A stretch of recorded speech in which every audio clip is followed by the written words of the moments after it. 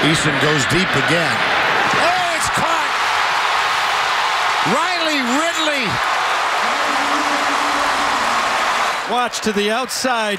Jarris Davis right there. He's holding his arm, so he ends up making a one-handed catch.